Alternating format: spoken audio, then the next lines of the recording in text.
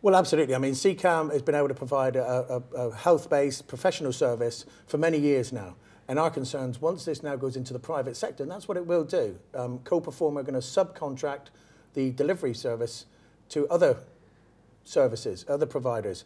And our concerns are that they may not have the, uh, the same exacting standards that um, the South East Coast Ambulance Service do, and that um, patients are going to suffer. And so will the service. We don't think they're going to be able to cope with delivering the service. I mean, presumably one of the benefits of the way it's done at the moment is, is SECAmb, South East Coast Ambulance. Um, they've got they've got drivers who could be doing emergencies one day, perhaps I don't know, and, and patient transport the next. They've got quite a round, you know, a rounded and deep set of skills.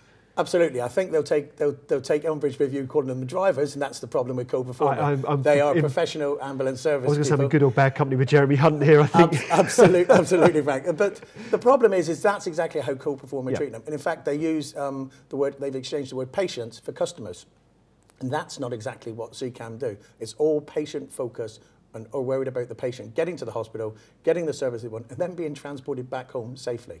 And, and when you say safely, of course, some, some of these are some people who can have medical episodes during their during their journey to or from hospital. I mean, part of the reason these are medically trained staff are to cope with that kind of thing. Absolutely, yes. They're qualified staff who are able to deliver oxygen, Entonox, all those things that um, would help with the you know um, possible survival of a patient having an episode on the way or back from hospital. The trouble is, although they're transferring, the new providers don't need that level of, they're not intended to use that level of skill. So we have a worry that all the staff will begin to slowly de-skill over the coming months um, and years and, and, and not be able to deliver that service.